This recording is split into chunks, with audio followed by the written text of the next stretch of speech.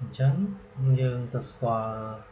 ឧបករណ៍មួយទៀតដែលមានឈ្មោះថា flare tool flare tool គឺជាឧបករណ៍សម្រាប់ជំនួយដូចជាពន្លឺចំណាត់ផ្លាតជំនួយចែងគេហៅថាពន្លឺចែងចាំងនៅក្នុង Elasticsearch វាបាន free ដោយ Adobe Photoshop ដែរនៅក្នុង flare tool តែ flare tool នៅក្នុង Elasticsearch វាមិនបានប្រើនៅក្នុង Effect ទេវាប្រើនៅជាមួយនឹង tool ខាងក្រៅតែម្ដងដែលវានៅក្នុងឧបករណ៍សម្រាប់គូគំនូរអញ្ចឹងសូមមើលទាំងអស់គ្នា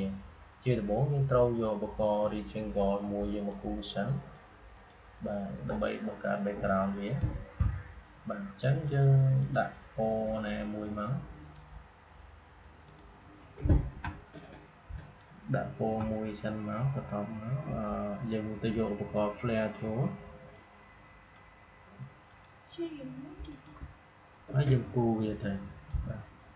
នៅពេលដែលយើង click នៅលើ layer ឬ ring អីយើងដោះវាមកតាមនឹងអ្វីដែលយើងចង់បានហ្នឹងយើងចង់បានយ៉ាងម៉េចគឺយើងដាក់ទៅតាមនឹងទៅសម្រាប់ឧបករណ៍ clear tool ណាអញ្ចឹងយើងយក center ហើយត្រង់ចំណុចនេះយើងយកប្រមាណ diameter របស់វាគឺចំនួនពង្រាលវាបាទហើយនៅកន្លែង opacity ពង្រាលក្នុងកម្រិតណាខ្ញុំយក39ទៅ ហើយ break របស់វា40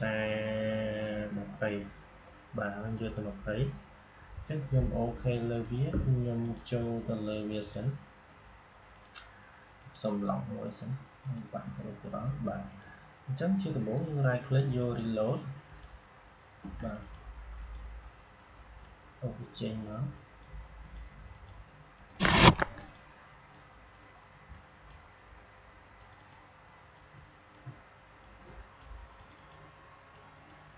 នេះអញ្ចឹងនៅពេលដែលយើង reload វាអត់បានឲ្យទេដោយសារវានៅជាប់មក clear tool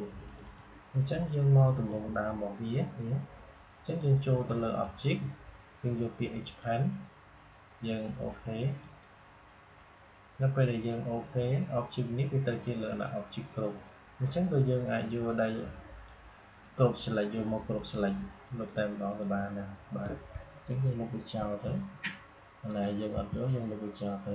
អញ្ចឹងយើងយកវាត្រឹមតែ flare tool ខាងក្នុងអញ្ចឹងយើងធ្វើឧបករណ៍ហ្នឹងមកចូលក្នុងបាទនេះហៅថាជំនឿជំអឺពន្លឺចំណងផ្លែបាទដល់ពេលដែលយើងកន្លែងចឹងទៅវាមានចំណងនេះទីទៅទីមកបាទអញ្ចឹងនៅពេលដែលយើងបានហើយយើងចង់ធ្វើឲ្យពន្លឺនេះ វាមានលក្ខណៈបណ្ដេញគ្នាយើងចូលទៅលើ effect យកពាក្យ transform distort and transform យកពាក្យ transform បន្ទាប់មកយើងយកពាក្យមុំ angle rotate របស់វាគឺ45ទៅបន្ទាប់មកយើងមក copy 4ឬ3អញ្ចឹងទៅហើយយើង preview វាមកវានឹងសូននៅលើនេះបាទអញ្ចឹងយើងអូ ខេហើយយើងអូខេហើយយើងក៏រួមវាឲ្យតូចតិចមកបាទអញ្ចឹងយើងបានពន្លឺមួយហើយអញ្ចឹងយើងចូលទៅពីវាមួយទៀតដល់មកយើងទៅចូលលើឧបករណ៍ហ្នឹងយើងទាញវាធំវិញបាទបាទអញ្ចឹងយើងយកវាទៅដាក់លើនឹងវិញទៅបាទអញ្ចឹងយើងនឹងឃើញពលឺនៅលើនេះមានពលឺរាងសាយមួយផ្សេងពីនឹងទៀតណាពលឺរាងសាយចង់ឲ្យតូចយើងធ្វើឲ្យតូចមកនេះសម្រាប់ឧបករណ៍ flare flare flare tool ណាបាទអញ្ចឹងយើងចូលទៅមើលមួយទៀត flare tool វាមានឧបករណ៍ច្រើននៅពេលដែលយើងបានបង្កើតទៅលើវាបាទ គឺមានធំមួយចាស់បន្ទាប់មកគឺធ្វើវាមួយទៀតធ្វើវារៀងស្ដាងមែនតើបាទអញ្ចឹងយើងគ្រាន់តែយកវាមកបាទខ្លះក៏ដឹងថាអឺឧបករណ៍គូក្នុងអីគេអាប់កាយទៅគូក្នុងកម្មវិធីមួយចំនួនចេះគូអញ្ចឹងវាធ្វើឲ្យខ្លួនឯងនឹងពិបាកបាទអញ្ចឹងយើងត្រូវតែដាក់ចឹងមកវាទៅជាពន្លឺចែងចាំងបាទហើយ វាទៅជាពន្លឺចែងចាំងនៃ flare ចំណងរបស់វាណាបាទអញ្ចឹងទាញវាមួយទៀតមកយើងអាចទៅ edit វាផ្សេងផ្សេងយ៉ាងទៅបាទនេះជាពន្លឺមួយនៅខាងក្រោមនៃទាំងការងារមួយហ្នឹងទៅដល់ពេលយើងទាញយកផុតវាទៅជា clear to background ពុកខ្មៅអញ្ចឹងបាទ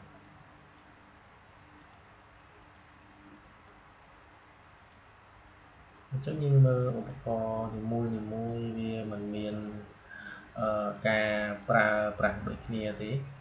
ចឹងបើសិនជាយើងប្រើជាមួយនឹង background ផ្សេងសួរថាលទ្ធផលវាទៅជាយ៉ាងម៉េចវានៅតែជាលក្ខណៈ flare អឺនៅលើ background តែម្ដងបាទនៅពេលដែលយើងដាក់វាទៅវានៅវានៅតែទុំលើ background មួយហ្នឹង យើងទាញកំពុំណាគឺនៅទៅលើ background មួយហ្នឹងដូចជាពន្លឺផ្កាយចំណាំងអីចឹងទៅគឺយើងប្រើជាមួយវាដែរបាទនេះគឺការប្រើជាមួយនឹង flare tool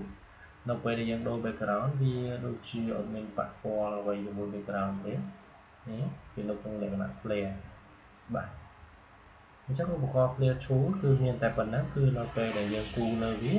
គឺយើងប្រើជាមួយនឹងកម្មវិធីផ្សេងផ្សេង តែបើសិនជាយើងចង់កំប្រើជាមួយនឹងគម្រោងដើមរបស់វា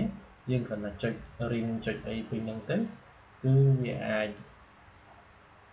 មើលថានៅក្នុង Adobe Photoshop ក៏មានដូចគ្នាដែរបាទពន្លឺចំណាំងរបស់យើងចេញពីណាទៅណាប្រហែលនៅទៅគឺមានដូចគ្នាបាទអញ្ចឹងដោយសារខ្ញុំមកប្រើទេដោយសារខ្ញុំចង់ប្រើទៅលើវាអញ្ចឹងខ្ញុំបញ្យល់អ្នកទាំងអស់គ្នាបើកាលណាយើងប្រើដូចពលឺឯមួយអញ្ចឹងឧទាហរណ៍យើងคลิกលើវាទៅបាទ យើងคลิกទៅយើងពន្លឺ red ត្រង់ ring យើងអត់ចូលទេ ring ហ្នឹងគឺស្រួលច្រើនអញ្ចឹងត្រង់ចំណុច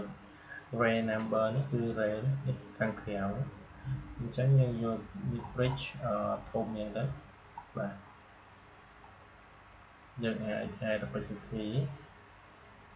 បន្ទាប់មកយើង add ចំនួន number array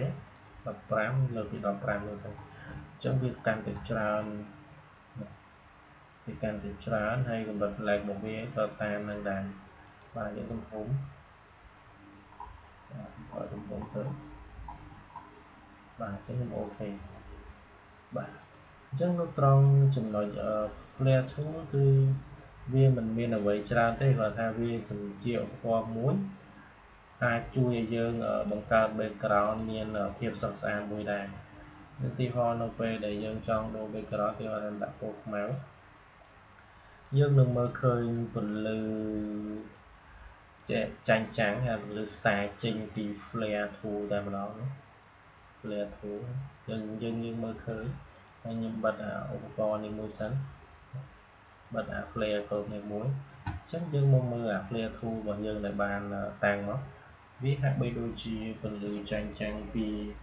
ចំណុចមួយទៅចំណុចមួយអញ្ចឹងនៅពេលដែលយើងប្រើ background ពណ៌ខ្មៅនេះបើប្រើ background នេះផ្សេងផ្សេងក៏បានដែរសម្រាប់ flare tool យើងយកទៅដាក់លើរូបភាពឬដាក់លើអ្វីខ្លះគាត់ថាបង្កើតចុចនេះចុចនេះតាមពិតទៅវាមានឧបករណ៍ស្រាប់ស្រាប់សម្រាប់ធ្វើការប្រើប្រាស់ទៅលើឧបករណ៍ flare tool មួយនេះបាទ